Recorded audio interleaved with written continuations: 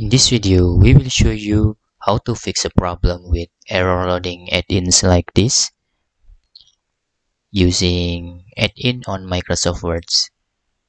For example, uh, if you want to add the add-in like this, it's appear error. How to solve this problem? First, you need to sign out from your Microsoft account then you can sign in again using your account.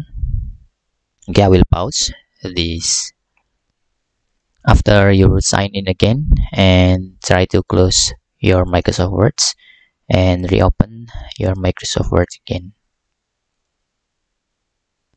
And now try to insert your add-ins